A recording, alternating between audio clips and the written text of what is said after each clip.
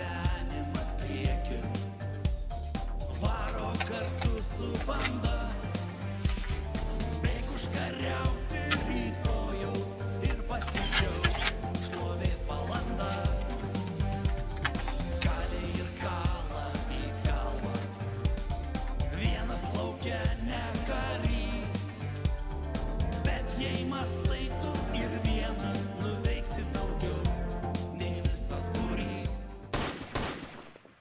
И взаимодействие вот именно человека с сувереном именно происходит именно только тогда, когда вы создали какую-то связь человека и суверена, либо суверена с сувереном, либо человека с человеком.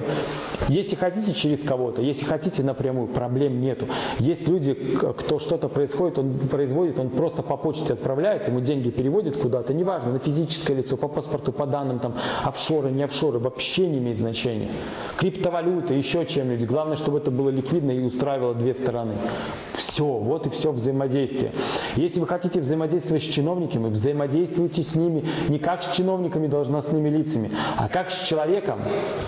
И только тогда, когда они уже не понимают, что они как э, человеки, что вы по-человечески с ним подходите, тогда можете говорить им, ну хорошо, тогда я буду к вам как к должностному лицу обращаться, тогда вы обязаны делать вот это, вот это, вот это, вот это вот, за это полагается вот это, вот это, вот это и вот это.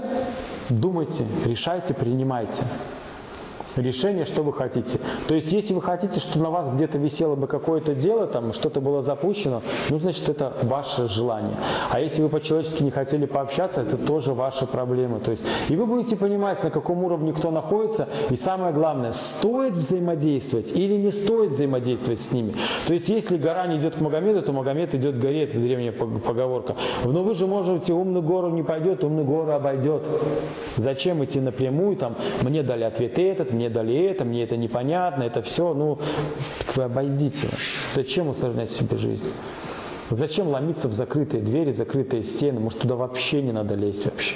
Может, там просто кишит все змеями, а пойду-ка я туда там поразбираюсь вообще, а оно вам надо?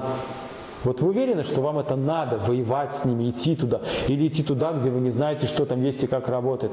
И когда вы это поймете, то взаимодействие вот это вот на уровне международного, оно будет происходить через международные организации, те, которые защищены международными законами, потому что э, вот следующий вопрос финансовое благополучие, потому что это, это финансы, это выгодно, это должно работать.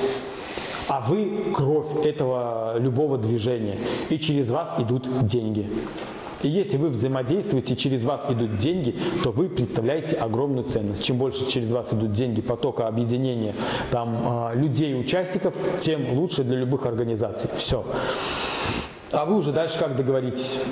Вопрос целей. Я не знаю, какие цели. У вас просто может быть столько разных целей, которые могут касаться самого различного взаимодействия. Об этом тоже где-то видео рассказывал, какие у меня цели, чего я хочу. И исходя из этих целей, взаимодействие со всеми этими организациями, структурами, вот это финансовое благополучие старости без учета инвестиций. И вот кто задавал вопрос, объясните мне, что значит без учета инвестиций? Я не могу понять, что значит просто финансовое благополучие старости без учета Нет, ну инвестиций. если, ну, конечно, это обеспечение старости, когда инвестировал, как бы, твои деньги работают, зарабатывать. Но не все же могут как бы это делать, как бы способны это, к этому, как бы и Так каждый это способен делать. Вы же можете выбрать человека, с которым вы будете дружить, взаимодействовать. Богатые люди, думаете, сами за всем следят? Нет. Богатых людей всегда есть Вот, вот, свой идет, финансист, свой экономист, идет, свой юрист, как делать. свой врач и все остальное. И просто у этих врачей есть своя клиентура. Этим выгодно, потому что у них есть свои клиенты, а этим потому, что у них есть свои специалисты, которые передают это из поколения в поколение свои профессии, знания. И тем самым они дают возможность экономить время. Если вы говорите без учета инвестиций, без самостоятельных вложений, чтобы было финансовое благополучие старости, тогда нужно, тогда есть вариант, либо вы кому-то доверяете, что кто-то вам помогает финансами заниматься, либо вы создаете благополучные семьи, где дети, когда растут, они потом говорят, о, спасибо, что вы нас вырастили, правильно воспитали, дали нам возможности, все нам объяснили, мы тут работаем, и нам тут, в принципе, несложно там этих денег, которые мы зарабатываем, там, давать вам сюда-сюда, покупать то, что хотите. Ваше богатство, наше богатство – это наши дети. И для государства наши дети, они прекрасно государство понимают, те, кто управляет, что дети это богатство, потому что они вырастут, они подрастут, они будут работать. Это ресурс мозговой, любой э, физический, материальный. То есть для них это все ресурсы, они все оценивают.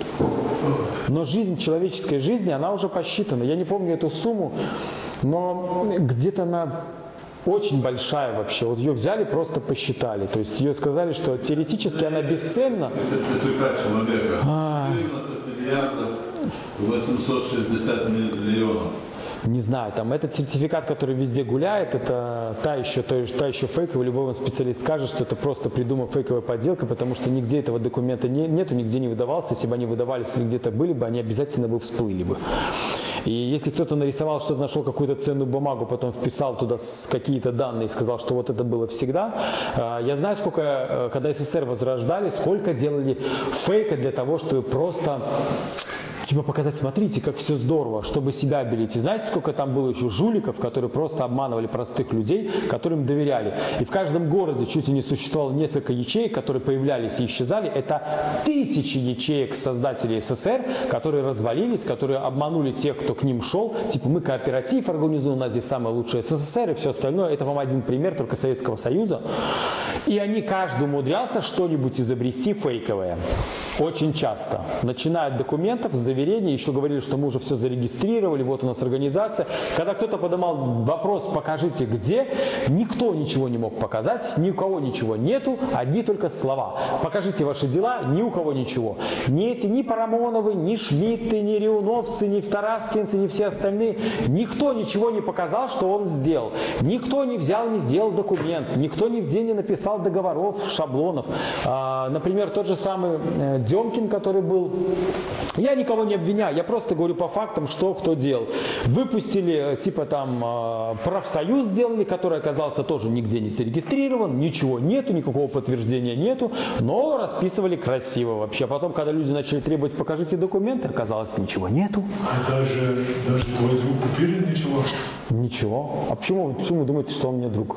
Ну, А где я заявлял, что он друг? мы говорили когда-то телефон. Понимаете, то есть про Евгения я тоже рассказывал и говорил, что, ну, смекалистый, очень толковый смекалистый человек, который быстро понял, где можно заработать денег. Вы обои что-то сделать. Мы, смотри, оба мы могли сделать, оба то, что могли мы сделать, то, что мы могли сделать оба, мы сделали на том этапе, когда я видел, что у него есть потенциал и у него есть возможности донесения информации, я еще тогда принимал решение, стоит ли вообще привлекать его к решению вопроса белорусских проблем касательно декрета номер три. Потому что я еще тогда понимал, что высока вероятность, что такой человек с такими характеристиками и всем остальным может это делать в свою потом все сторону, когда начнет понимать, как, что ему это выгодно, что на это можно заработать. Но стоял выбор, что все блогеры, которые были там, которые доносили там или которых я знал, они не обладали такими качествами донесения всего остального, чтобы взять где-то в какой-то степени это запустить. И то зло, которое там существует в кавычках от этой алчности и жадности, что я там вам паспорта гражданина мира, которые все дают, там, покупайте мои, ведите в академию, я сейчас научу вас суверенам, это еще то малое зло, э, скажем так, это даже, э, это зло в- в- очень сильно компенсируется тем благом, которое было достигнуто за счет, э, скажем так, остановления этого декрета номер три. Но учитывая, что народ потом все равно потом изменили под декрет номер один, вписали это все в коммунальные платежи и сказали, что если ты там типа не участвуешь в финансировании расходов, плати полные коммунальные платежи, и через это начали платить, то есть, а народ уже снова съел. То есть, если посчитать сейчас, если бы мне сказали, хочешь ли ты с кем-нибудь взаимодействовать и кому-нибудь помогать, то есть, чтобы он был каким-то рупором, я скажу нет. Потому что я выводы сделал, я понимаю, что это очень большая ответственность, и кто-то может просто взрастись и потом вести просто не в ту сторону. Потому что, типа, прочитать какую-то информацию, что «М, паспорта все хотят, в паспортах все хотят. Как бы паспорта делать? «М, Вот, нашел паспорт гражданина мира. Будем рассказывать, что там все можно, мы там типа попробовали, оно все работает. А на самом деле они сами ничего не пробовали, сами не ходили. Если бы они сами делали бы, это ладно еще. В основном это делали э, те люди, которые скупали эти паспорта и сами шли на пролом, сами все сделали, сами все проверяли. Я общался с теми, кто говорит, и говорит, так они сами ничего не делают, они наш опыт собирают. Каждый говорит, с кем я общался, наш опыт собрали и типа выдают его за свой, что типа мы это сделали там, например. Вот и вся правда. Потому что если ты что-то делаешь, ты не будешь сидеть, например, в Беларуси и рассказывать, сейчас я там Академию суверена вам открою. Он бы взял бы и поехал бы, как я, например, в Европу. Или взял бы там, поехал бы еще куда-нибудь и рассказывал, показывал, вот смотрите. Когда он был уже? Когда он последний раз там был? Все, и и. Когда можно было свободно ездить? Ох, как тяжело ездить. Сейчас все. А сейчас все. Но легко учить сидеть дома в студии у себя и рассказывать, как надо жить. Когда ты не рискуешь. Смотри, смысл в чем, что когда ты ничем не рискуешь, когда тебе, в тебе безопасные условия, когда никто не может приехать тебе что-то сказать, ты просто, а я просто делюсь знаниями и все. И ты можешь сказать, что а я просто обмениваю вообще время, то есть хорошо устроился, что это мы просто предоставили за услугу получения паспортов, либо там еще что-нибудь. И мы как бы бизнесом не занимаемся, это не мы, это типа деньги туда, мы только за обслуживание, там мы тем платим, тем там. Ну и можно расписать это все. Маркетинг. А теперь представьте, какая опасность вот просто приехать в какую-то другую страну, что-то вещать, что-то рассказывать, доносить взгляды, перемещаться по этой стране, перемещаться по этим странам, учитывая все эти условия, которые здесь происходят. Ну, наверное же, есть разница, но большинство предпочитает, когда ему говорят, а, а как, паспорт приобрести? А можно 100 долларов, 20, 200, 300 долларов? Я согласен, он меня спасет. Да, да, конечно, да, да, мы вот уже попробовали, конечно, да, все можно, все можно, все возможно, да. То есть, ну, красиво просто на несчастье, на горе других делать, эм, делать деньги. Это касается предыдущего вопроса именно взаимодействия. А касательно финансового благополучия, я вам говорю, что это касается вопроса именно э, вашей семьи, вашего комьюнити, сообщества, объединения. Это касается именно знаний опыта, либо взаимодействия с специалистами, которые вам расскажут, поделятся этим опытом, либо будут вас консультировать в долгосрочной перспективе, куда во что можно вложиться. Они просто расскажут, здесь может быть риск, это развалится, это может быть не развалится, может быть такая возможность. Но в целом вам финансист всегда скажет в будущем лет 5, куда вложить, чтобы вы остались в плюсе. Это если вы сами захотите заниматься, то вы будете видеть, блин, падает, растет, уменьшается, это туда. Блин, что делать? Кошмар, мне нужны деньги, не хватает, жена просит это. Конечно, проблемы будут. А когда ты начинаешь это изучать как инструментарий, то ты принимаешь решение, так ты прими, ты сам хочешь свою независимость создать, сам свою финансовую грамотность, независимость развивать, или с помощью кого-то. Я же не могу вам посоветовать, как лучше. Я не знаю, как для вас лучше. Я знаю, что в суверенном мире у нас есть разные варианты, и туда, куда мы вкладываем, мы говорим, мы можем и вам помочь вкладывать. То есть мы, например, взяли, сделали программу, посмотрели криптовалюты, которые приносят доход, и сказали, мы взаимодействуем с другими э, платформами этих криптовалют, либо биржами, и говорим, что мы готовы, вот у нас есть криптовалюта, которая приносит доход, и мы говорим, мы готовы заключить соглашение с каждым человеком, что мы те проценты, которые получаем с этой криптовалюты, мы продаем это люди по той стоимости, по которой продаем, и готовы за эту стоимость выкупить. Эти люди эту криптовалюту сами могут вложить, она может им прийти в плюс, плю- выйти в минус, но даже если она выйдет в минус, мы обратно можем и выкупить. Почему? А потому что мы и так ничего не теряем. Мы за что взяли, то и отдали. Вопрос в том, что мы деньги, которые взяли, мы можем взять и направить на, э, с минимальным риском вложения, и будет какой-то доход, который будет приноситься и прибыль давать. А если оно выросло в цене, мы говорим, ну если выросло в цене, зачем нам выкупать то, что у вас есть? Мы можем, конечно, выкупить вы по этой цене, по которой э, вы нам продали, точнее мы вам продали. Мы его выкупим за эти деньги, но мы же сами тогда дороже продадим. Вот и все. А мы ничего не теряем, потому что, в принципе, мы используем ту криптовалюту, которую либо мы можем где-то зарабатывать, либо получать с, какой-то деятельности в виде соглашения. И мы создаем такие механизмы для развития, допустим, какой-то криптовалюты, гарантию для той криптовалюты, что ей будут пользоваться другие пользователи, что она будет применяться, что она будет расти, следовательно, выгодно и создателям, и создателям, например, дать нам какую-то криптовалюту, договориться о чем-то, это выгодно пользователям, потому что они получают гарантию, что если криптовалюта вырастет, они заработают. Нам это выгодно в минимальном проценте, что мы, получается, эти деньги, которые получили, мы просто их в безрисковые вообще активы как вложим, получим какой-то минимальный процент, ну, условно говоря, даже просто в банк положить, там, в чем положил, в том и получил. Хоть инфляция сожрет, но мы все равно ничем не рискуем, потому что мы просто возвращаем то, что само растет. И вопрос только в том, что когда это развивается, это просто сейчас такой момент переходный, когда есть возможность чему-то самому развиваться, расти, э, дуплицироваться, размножаться и делиться с кем-то. Это просто э, экономические войны прям. И много таких вариантов у нас есть. И просто мы говорили, мы готовы брать там, да, где-то до 24 вроде процентов годовых вкладов в зависимости от суммы. То есть в среднем где-то 6 процентов в год мы готовы брать, потому что мы знаем, что мы знаем, куда, в какие проекты инвестировать, потому что мы конкретно общаемся с людьми, мы с ними заключаем договора, соглашения от, об их ответственности, каким имуществом они отвечают и чем они могут это компенсировать. И мы понимаем, что мы можем давать даже проценты больше, чем в других банках, можем брать эти средства, и будет договор конкретный. И мы даже можем хоть по паспорту заключить, хоть по физическому лицу, нам глубоко фиолетово. Лишь бы была гарантия. Просто мы туда вписываем все оговорки касательно документов, волеизъявлений, чтобы у человека не было желания нас обмануть. И мы говорим, что если ты нарушишь, то будешь отвечать уже перед суверенным трибуналом и суверенной инквизицией. А кто это тебя будет наказывать, это уже никто не узнает даже. А мы просто честно будем жить и все.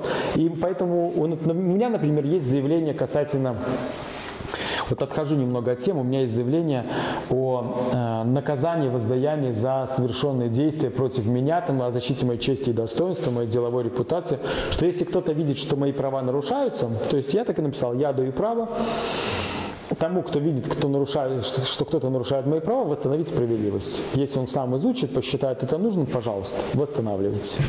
Без ущерба для меня. Я просто разрешаю восстанавливать справедливость нарушения по отношению ко мне. И это во всем мире так действует. Это такое есть. Просто я это публично заявил и вывел и сказал, смотрите, а такое есть, а вы не знали, оно есть. Посмотрите фильмы Джон Вик, там еще что-нибудь, это вот из этой области. И финансовое благополучие, самые два варианта, если вы выбираете, ну три, например, это выбираете, вкладываете по чуть-чуть самые различные активы, ну не прогадаете, все равно что-нибудь выстрелит очень сильно. Второе – это ваша семья, ваши дети, их благосостояние, как воспитаете, вырастите, что дадите, а, то и будет в будущем. И специалисты, к которым вы можете обратиться. Вот три основных направления. Мы эти три основных направления, мы их используем. И мы помогаем всем, кто вот в суверенном мире, кто граждане. Мы самое главное поддерживаем и решаем вопрос, как сделать так, чтобы у детей было нормальное здравоохранение, нормальная медицина и нормальное образование. То есть мы в этом ключе работаем. И мы говорим, что нам нужно думать, как решить этот вопрос именно с детьми, чтобы дети росли на природе, на своей земле, в своем доме, чтобы они не были в этом сумасшествии, не находились, и чтобы у них нормальное мышление формировалось, чтобы они с ума не сходили здесь. Вот, вот и все. И мы вкладываем вот именно в развитие финансов в, это, в этой сфере. А то, что это государственные какие-то механизмы, это не каждый может взаимодействовать через такие механизмы напрямую. Там, говорить, мы размещаем информацию, разместили для примера нескольких человек, куда можно вкладывать. То есть все, пожалуйста, звоните там им, спрашивайте, общайтесь там, э, заключайте с ними договора, соглашения. То есть это все свободно. И мы говорим, что мы готовы любую такую информацию о каждом человеке, если он что-то делает, разместить. Если он будет потом просто по договорам брать и так взаимодействовать.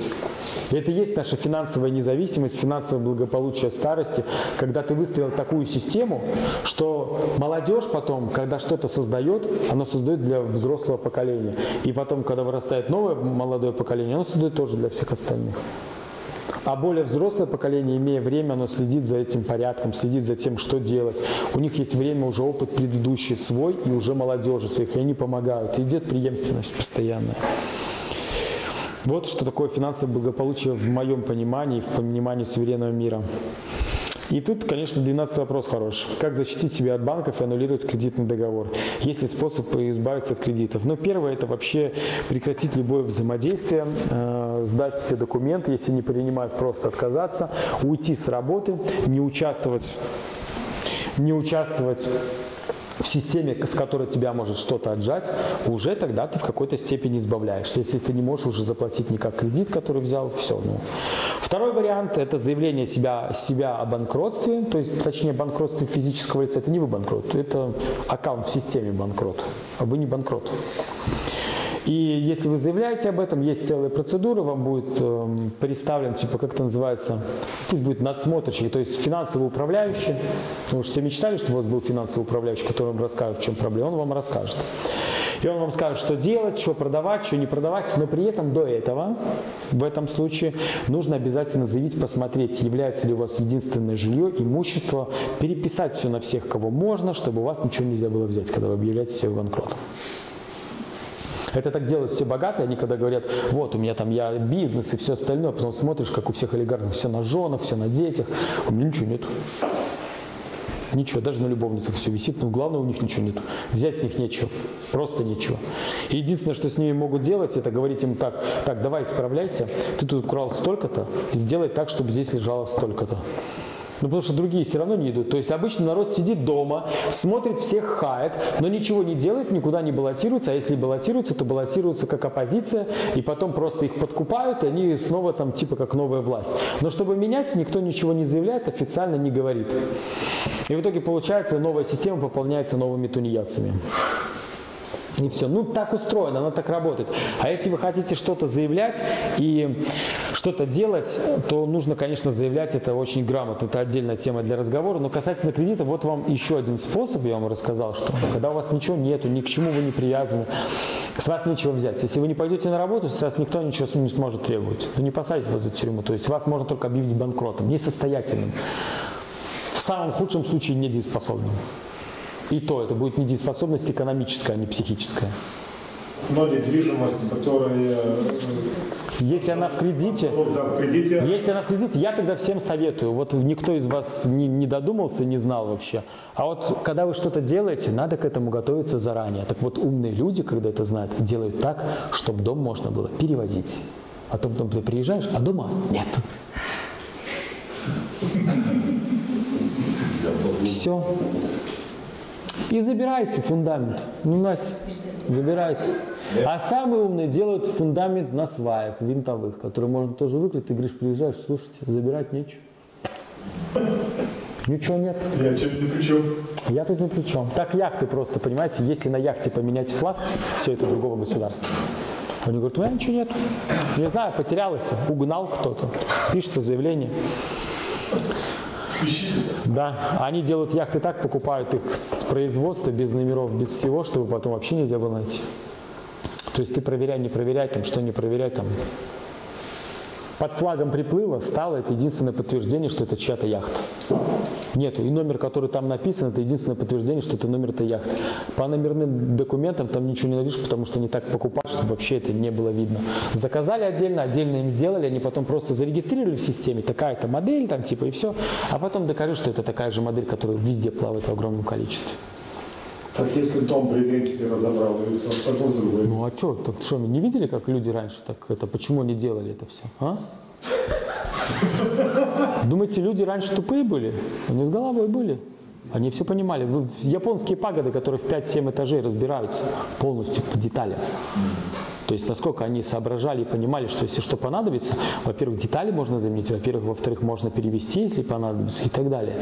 А нам говорят, нет, стройте капитальное строение. Почему? Капитал.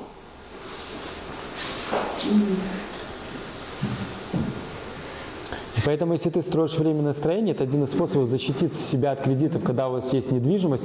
Это либо думайте, как эту недвижимость быстро перевести. И, конечно же, когда квартира, ну, с вами уже постарались, конечно, так знаешь, закабалить так конкретно. Но в целом, если есть возможность, надо брать, смотреть, если можно продать это жилье дороже, взять, продать, чтобы это покрыло кредит, закрыть этот кредит, оставить себе эту сумму денег и больше в это не влазить но все равно с плюсом хоть останется. То есть все можно подрасчитать, и э, не надо сейчас привязываться к тому, что у вас есть, потому что э, спос- скажем так, способов, как это прям сохранить стопроцентно, этого нету. И поэтому, если возникает вопрос, что у вас есть кредит, э, тут трудность-то в том, что видов кредитов очень много. И недвижимости, и залогов, и поручителей, и способов получения. Такое множество, что есть очень много нюансов, и поэтому защититься себя, м, себя от банков Первый способ с ними не взаимодействовать, самая лучшая защита. Увы, самая лучшая. Второе – это договор. То есть вы идете, сразу говорите договор, и все прописываете. Если они с вами не хотят заключать договор, значит вас хотят обмануть. Все. Не взаимодействуете. И если вы хотите аннулировать кредитный договор, то нужно доказать, что вы были недееспособны на тот момент, когда заключался кредитный договор, что у вас не проверили вашу дееспособность, что э, как вообще вам могли выдать кредит, если тут даже здравомыслящий человек видит, что если у вас не получилось его выплачивать, значит вы, наверное, и тогда надо было спросить, будет ли это возможно или нет. А они выдают кредиты так, что прям впритык-притык под проценты, что прям посчитать. Поэтому вы говорите, что банки имели умысел, а теперь докажите, что у банков не было умысла. И вы говорите, требую реституции, возвращения всех моих средств, а я верну дом эти. Продавайте сами свой дом. То есть пусть вам вернут ваши деньги уплаченные, вы говорите, требую реституции, обман. Верните мне просто мое, а я вам ваше. Забирайте. Другой вопрос, что люди берут кредиты не только на дом, а на строительство, там, на ремонт этого дома, там, технику оборудования. И когда я посмотрел статистику, кто берет в России кредиты и на что, поднял, оказалось, что на жилье только в основном 10%. А вот 35% это на ремонт. Около 35 это на автомобиль. Вот всем так надо повыпендриваться, понимаете? Остальное там потребительские кредиты на продукты и все остальное. То есть проблема с жильем, она не самая большая. Проблема от жадности «хочу больше», «хочу быть лучше», «хочу, чтобы построить себе». И если начать копать, окажется, что многие брали себе кредиты не только на жилье строительство.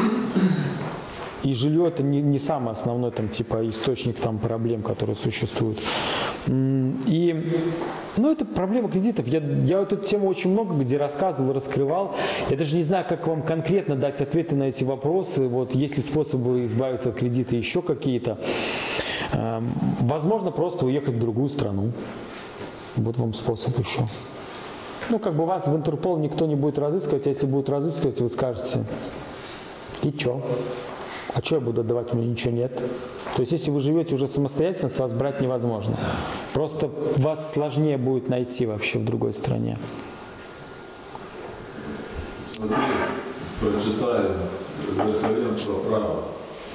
Документы сами по себе, без каких-либо доказательств озвученной претензии, никогда не могут считаться основ... ос...